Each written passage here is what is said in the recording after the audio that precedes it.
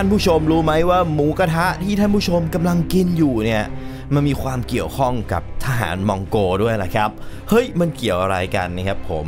เรียกได้ว่ามีทฤษฎีความเชื่อหนึ่งเกี่ยวกับต้นตอของหมูกระทะเนี่ยว่าจริงๆแล้วมันมีต้นตอมาจากกองทัพมองโกนั่นเองครับเฮ้ยแล้วมันเกิดขึ้นได้ยังไงกัน ถ้าท่านผู้ชมเนี่ยเคยไปกินเนื้อย่างบางทีเราอาจจะเคยเห็นชื่อเนื้อย่างเจงกิสข่านเนาะตรงนี้เองเนี่ยนะครับผมก็อาจจะสืบย้อนกลับไปเป็นที่มาว่าเอ้ยมันมาจากมองโกนั่นแหละ ถึงแม้ว่าอาจจะไม่ได้มีที่มาเป็นลายลักษณ์อักษรนะครับเพราะว่ามันไม่ได้เป็นเหตุการณ์แบบ historical event เว้นที่สำคัญ มันไม่ได้เป็นเหตุการณ์สำคัญทางประวัติศาสตร์ แต่หลายคนก็เชื่อกันว่าไอ้ต้นตอของหมูกระทะเนี่ยมันมาจากการที่ว่าหลังจากทหารมองโกลบเสร็จอะพวกเขาจะใส่หมวกเหล็กถูกไหมแล้วในยามศึกอะการจะพกอุปกรณ์ทำครัวอะไรไปเยอะมันก็คงจะยากนะครับก็เลยอาจุดไฟแล้วก็เอาหมวกเนี่ยมาตั้งไว้แล้วก็เอาเนื้อใส่ตรงหมวกไปเลย จนกลายเป็นหมูกระทะขึ้นมานั่นเอง ก็เป็นเมนูง่ายๆ ที่กินง่ายแต่อร่อย